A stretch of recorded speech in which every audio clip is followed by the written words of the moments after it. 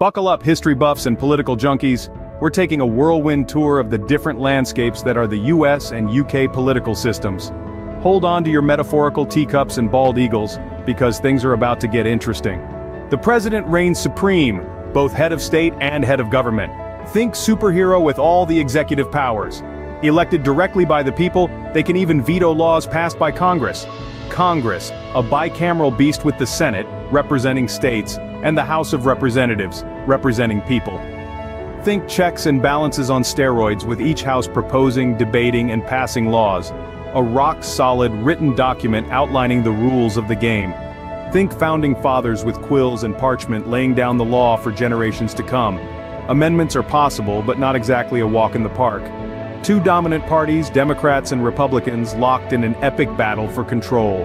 Think red versus blue, elephants versus donkeys, a political WWE smackdown. Third parties exist but breaking into the big leagues is tough. The Prime Minister leads the show but doesn't have quite the same rock star status. More like the conductor of a powerful orchestra chosen by their party and ultimately answerable to Parliament. Parliament, another two-chamber wonder with the House of Commons, elected directly by the people, and the House of Lords, mostly appointed with some hereditary members. Laws are primarily proposed by the government and debated in the Commons, with the Lords offering revisions, more like an ever-evolving rulebook, with bits and pieces from various laws, court rulings and traditions. Think flexible and adaptable but also a little mysterious at times. More of a multi-party playground with Labour, Conservative, Liberal Democrats and others vying for attention. Think coalition governments where parties have to team up to get things done, adding a whole new layer of complexity. So there you have it.